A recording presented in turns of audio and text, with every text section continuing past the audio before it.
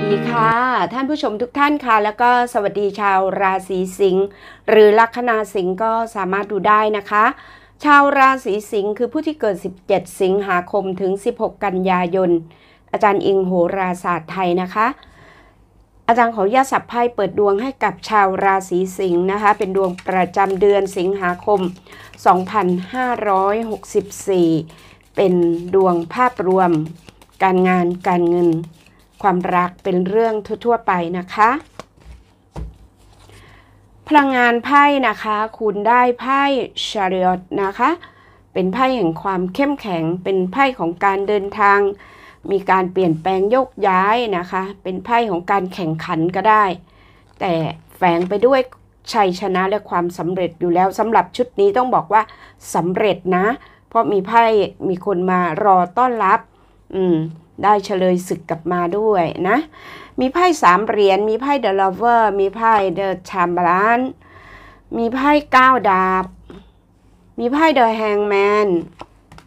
มีไพ่แปดดาบนะคะ ต้องเหนื่อยอยู่พอสมควรเลยไพ่ขึ้นแบบนี้นะ เป็นไพ่อัศวินถ้วยสเตรนอ่าโอเคไพ่สรุปออกมาดีนะคะ ก็มองว่าเดือนสิงหาคม ก็ต้องผ่านพ้นอุปสรรคปัญหาได้เนาะอืมปัญหาก็มีไพ่แปดดาบกับเก้าดาบเดอะแฮงแมนนี่แหละค่ะ เราก็จะพูดทีละประเด็นนะหนึ่งประเด็นแรกนะ ขอพูดเรื่องงานก่อน ถ้าเป็นเรื่องงานเนี่ย อาจารย์มองว่าหนึ่งจะมีปัญหาในเรื่องของลูกน้องบริวารอ่าลูกน้องบริวารหรือลูกค้าก็ได้อ่าโดนตำหนิติ เตียนตากจากลูกค้า หรือเป็นเรื่องที่ลูกน้องไปทำความผิดอะไรสักอย่างเลินเล่อทำงานผิดพลาดแล้วทำให้ชาวราศีสิงห์ต้องมารับผิดชอบอ่าโดนตำหนิจากผู้ใหญ่อีกต่างหากอ่านะคะถ้ากรณีลูกน้องทำผิด ชาวราศีสิงห์ก็จะต้องเหมือนกับโดนตำหนินะคะ แต่ไม่ได้แปลว่าถูกออกจากงานนะคะ แต่ว่างานมีปัญหาเพราะฉะนั้น อันนี้เราดูล่วงหน้า ถ้าอะไรที่ยังไม่เกิดก็ต้องระมัดระวังรอบคอบ อาจารย์เตือนลูกน้อง คุณก็ต้องดูเรื่องลูกน้อง เรื่องเนื้องาน เรื่องพันธสัญญา เรื่องเอกสาร อ่านให้รอบคอบนะคะ ก่อนที่จะเซ็นอะไรนะ อ่า มีเรื่องสัญญาเอกสารด้วยนะคะ หรือถ้าใครมีเรื่องคดีความฟ้องร้องที่ผ่านมาที่ยืดเยื้อมานานจากคู่กรณีนะ ในประมาณกลางเดือนสิงหาคมเนี่ยจะคลี่คลายคุณชนะแน่นอนนะบอกเลยนะเพราะตำแหน่งสรุปของคุณได้ไพ่สเตรนราชาถ้วยนั่นเอง แล้วก็อัศวินถ้วยด้วยสามใบก็ต้องตอบโจทย์คุณแล้วมีเลเวอร์เข้ามาขยาย ก็แปลว่าความสำเร็จเกิดขึ้น ไม่ว่าจะเจอเรื่องอะไรนะคะ มันผ่านได้นะ ในเรื่องของงานหรือน้องๆนนักเรียนนักศึกษานะคะ ช่วงนี้ก็อาจจะเรียนออนไลน์กันนะคะ ก็ต้องทุ่มเท อะไรที่ไม่เข้าใจ ต้องถามคนรู้ ถามเพื่อนที่รู้ ถ้าเพื่อนไม่รู้ก็ต้องนอนเลยครูบาอาจารย์ ต้องต้องโทรต้องไลน์ไปถามไปคุยให้เคลียร์เพื่อตัวเองจะได้รู้ในสิ่งที่ไม่รู้ไม่งั้นนะคะก็จะกลายเป็นเเขาเรียกว่าการมีปัญหาที่ไม่รู้จักจบสิ้นก็ได้นะ ถ้าเรามัวแต่เก็บสิ่งที่ไม่รู้ที่ไม่เข้าใจไว้อะมันก็เหมือนเพิ่มพูนไปเรื่อยๆ เหมือนดินพอกหางหมู พอถึงเวลานั้นปลดล็อกตัวเองยากมากเลย อย่าให้เป็นเช่นนั้น เมื่อมันมีปัญหาต้องรีบแก้ไข อะไรที่ไม่รู้ต้องถามผู้รู้นั่นเองนะคะให้เขาอธิบายให้อาจารย์อธิบายนะคะอาจารย์ก็แปลจากหน้าไพ่ไพ่ได้ประมาณนี้น้องๆนนักเรียนนักศึกษานะคะที่มีปัญหานะ นี่ก็คือเรื่องงานนะคะ อีกประเด็นหนึ่งค่ะ ถ้าเป็นกรณีว่ามีคนมาชักชวนนะคะให้ให้ทำงานร่วมกันทำธุรกิจร่วมกันอย่างเงี้ยนะคะจะมีประเด็นนั้นเกิดขึ้น ก็เหมือนเฮ้ยลังเลใจทำไปแล้วเนี่ยเราหุ้นส่วนได้ไหมหรือว่าจะถูกหลอกถูกโกง เหมือนคิดอย่างนั้นอยู่ก็มีนะคะ ชาวราศีสิงห์บางท่านนะ เป็นดวงภาพรวมอาจารย์จะแปลจากไพ่ที่อาจารย์เห็นเนาะอ่าบางท่านก็จะคิดว่า เฮ้ย จะร่วมหุ้นกับคนอื่นได้ไหมเนี่ย เพื่อนมาชวนญาติมาชวนอะไรประมาณนี้อยู่นะคะเออเราจะทำดีหรือไม่ทำอืมจะผิดใจกันที่หลังไหมอาจารย์บอกเลยว่าทำได้ค่ะ อืมนะคะเพราะเลเวอร์มันแปลว่าหุ้นส่วน แปลพันธสัญญาไพ่ราชาถ้วยนะคะ แล้วก็เป็นไพ่สเตรนท์แปลว่า สามารถที่จะอยู่ร่วมกันได้ เข้มแข็งนะคะ เข้มแข็งบนความที่แบบไม่เขาเรียกว่าไม่ไม่ก้าวร้าวนะไพ่สเตนชุดนี้เป็นภาพผู้หญิงจับปากสิงโต แปลว่าเขาต้องใช้ความอ่อนสยบความแข็ง อืมนะคะเนี่ยการอยู่ร่วมกันก็จะเป็นประมาณนี้ในกรณี ไม่ว่าจะเป็น ทำการค้าธุรกิจหุ้นส่วนทำการค้ากับลูกค้าดีลกับลูกค้า เราก็ต้องมีศิลปะในการพูดในการที่จะเอาผลประโยชน์จากคนอื่น เราก็ต้องพูดให้เป็นประมาณเนี้ยซึ่งอาจารย์มองชาวราศีสิงห์ทำได้อยู่แล้ว เพราะว่าอะไรสเตรนท์เป็นไพ่ประจำตัวคุณ เป็นไพ่ประจำลัคนาราศีสิงห์ขึ้นมา เขาถือว่าถ้าพูดทางโหราศาสตร์เขาเรียกว่าอะไร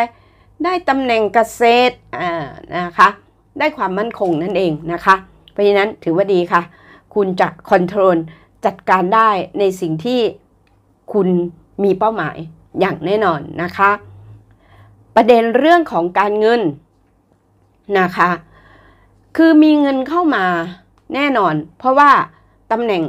ที่หนึ่งเป็นสามเหรียญแล้วเข้ามากระทบตัวตนของคุณ แปลว่าคุณขยัน อืมชาวราศีสิงห์ขยันหาเงินหารายได้เก่ง เนี่ยใครเป็นเซลล์เนี่ยดีนะไพ่สามเหรียญเนี่ยแปลว่าเงินไหลเข้ามาตลอดพูดพูดเป็นเงินเป็นทอง อืมนะฮะไพ่ไพ่ใบนี้เหมาะพวกทำทำเซลล์นะคะพวกอาชีพเซลล์ อาชีพเอ่อเป็นในหน้าอ่าอย่างเงี้ยก็ดีนะคะ รายได้จะมาจากนี้ไม่ไม่ว่าจะเป็น ในหน้าขายรถขายบ้านขายที่ดินก็ว่าไปอะเออนะคะ คุณก็จะมีรายได้เข้ามาเรื่อยๆนะคะการเงินไม่ขาดมือค่ะสำหรับชาวราศีสิงห์แต่อาจารย์มองเป็นเงินจากจากการทำงานค่อนข้างจะมากกว่านะอ่าเป็นเงินจากการทำงานนะคะ หรือใครที่ยืมหนี้ไอ้ยืมเงินเป็นหนี้เป็นสินคุณเนี่ย อืม เขาจะเอามาคืนนะคะ เขาจะเอามาคืน บางทีอาจารย์มอง อาจจะไม่ต้องทวงก็ได้นะเดือนนี้เหมือนเขาจะรับผิดชอบเอามาคืนเองก็ได้เนาะโอเคค่ะ แล้วก็ ในเรื่องของการเงินก็ไม่มีปัญหาหรอกเนาะดูไพ่ออกมาดีอยู่นะคะห่วงจุ้ยบ้านที่อยู่อาศัยก็มองว่าดีค่ะนะคะ บ้านก็มีเจ้าที่เจ้าทางดี บางคนก็บูชาองค์พระแม่อุมาอยู่ก็มีนะคะ องค์พระนเรศวรพระเจ้าตากก็มี โอเคแล้วนะคะ ถูกดวงนะอืมสิ่งศักดิ์สิทธิ์ ประทานพรให้อยู่แล้วนะ แต่ถ้าได้ลาบลอยก็นั่นแหละค่ะอ่าเนี่ยมีภาพดอกบัวก็ไหว้นะคะ ขอพรให้กวดน้ำด้วยนะไพ่ใบนี้นะ อืมนะคะ สวดมนต์กวดน้ำถวายบุญให้กับสิ่งศักดิ์สิทธิ์ที่บ้านนะคะ โอเค ต่อไปในเรื่องของความรักค่ะ ใครที่เป็นคู่กันอยู่แล้วเป็นครอบครัวนี่ถือว่าปกติสุขนะคะ ส่วนใครที่เป็นแค่คนรักดูดูใจกันอยู่ อาจจะมีเกณฑ์ที่แบบ ไม่เข้าอกเข้าใจกันนะคะ อาจจะเหมือนกับ คนคนนั้นอาจจะอยู่ไกลคุณนะอาจารย์มอง อาจจะเป็นชาวต่างชาติก็ได้ หรืออยู่คนละจังหวัดก็ได้ ช่วงนี้ก็อาจจะแบบคุยกันน้อยลงก็จะทำให้แบบชาวราศีสิงห์เนี่ยคิดมาก นอนไม่หลับ อืม กินไม่ได้นอนไม่หลับ คือคือเราเราตัดเขาเรียกว่าเราตัดใจจากเขาไม่ได้ความรู้สึกแบบนี้ใจหนึ่งเราก็อยากที่จะอืมเหมือนอยากอยู่คนเดียวก็มีนะ อาจารย์มองอะ่ะ อืม แต่แล้วคุณก็ทำไม่ได้หรอกดูแล้วนะคะ ถ้ามีปัญหาอะไรกันอยู่เนี่ย ถามว่าเลิกกันไหมไม่ได้เลิกนะคะ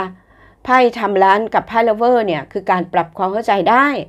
นะคะ โดยเฉพาะมีพระราชาถ้วยกับสเตรนเนี่ย นะอาจารย์มองไพ่คู่นี้ยังไงคนอื่นคนหนึ่งแข็งคนหนึ่งอ่อนเนี่ยสามารถที่จะ balance กันได้นะคะ อืม คนเรามันอยู่บนความแตกต่างได้นะ แค่ยอมกันนิดนึงนะคะ The Hanged Man สิ่งที่มีปัญหายืดเยื้อมานานก็จะถูกแก้ไขได้ด้วยการแบบโอนอ่อนผ่อนตามกันบ้าง อย่าแข็งกร้าวอย่าแบบดื้อแพ่งจนเกินไปอะ่ะนะคะ ก็จะไม่ได้ ถึงขั้นแบบพวกคุณต้องเลิกกันนะคะอาจารย์มองไม่ได้มีเรื่องถึงขนาดนั้นนะคะเพราะฉะนั้นถ้าความรักมีปัญหาอยู่ต้องต้องรีบเคลียร์แล้วแล้วคุยกันให้เข้าใจนะคะ ยังสามารถที่จะกลับมาโดยเฉพาะกลางเดือนสิงหาคมเนี่ยใครที่ไม่คุยกันอยู่บล็อกกันอยู่ ก็จะต้องเปิดบล็อกอย่างแน่นอน และได้คุยกันนะคะ ได้คุยกันสำหรับคนอยู่ต่างประเทศก็ต้องวีโอคุยกันอยู่แล้วนะ หรือไม่ก็แมสเซจก็ได้อาจารย์มอง แต่ถ้าอยู่ใกล้กันก็จะได้ต้องเจอกันเป็นๆนนี่แหละนะคะ ความรักก็ยังพัฒนาและไปต่อยังมีความหวานชื่นอยู่ตำแหน่งสรุปออกมาดีนะคะ ส่วนคนโสดนะคะ ถ้ามองจากคนโสดในดวงเนี่ยอาจารย์มองว่าแน่นอนแล้วก็เจอความผิดหวังมาซะแบบอุ้ยเจ็บปวดจนบางครั้งก็ อืม เข็ด เขาเขาเรียกว่าเข็ดลาบกับความรักก็มีนะคะอืมเหมือนอยากที่จะไม่สนใจแล้วอยากไปโฟกัสกับการทำมาหากินกับอืมการสร้างเนื้อตัวเอง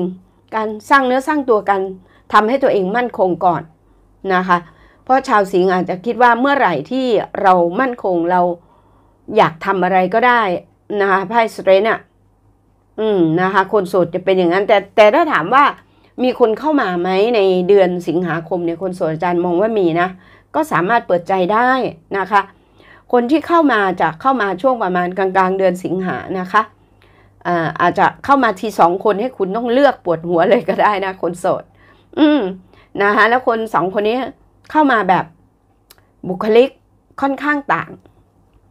นะคะค่อนข้างต่าง ถ้าเป็นเเขาเรียกว่าอะไรอะ สองคนอายุไม่อายุต่างกันแล้วก็บุคลิกต่างกันนะคะ คนที่แบบหนุ่มกว่านะคะ คนที่หนุ่มกว่าเนี่ย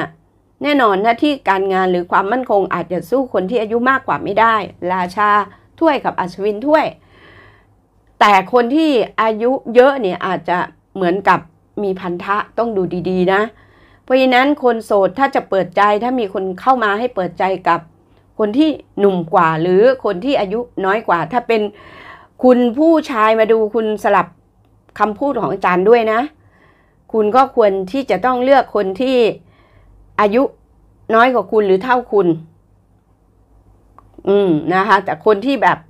อายุมากกว่าคุณ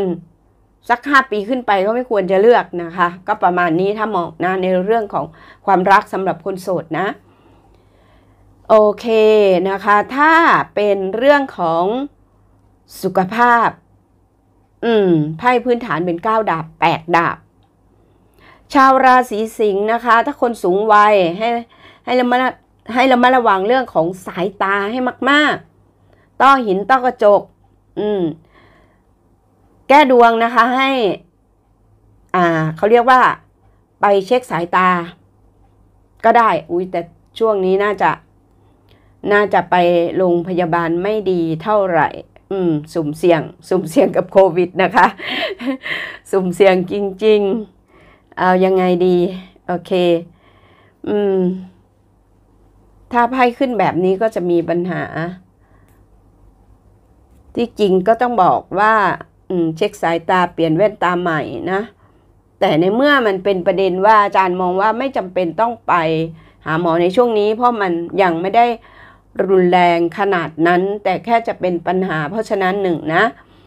สายตาก็เราก็อย่าจ้องโทรศัพท์นานๆ หรืออะไรประมาณนี้เนาะเออนะคะบางคนก็ติดติดเล่น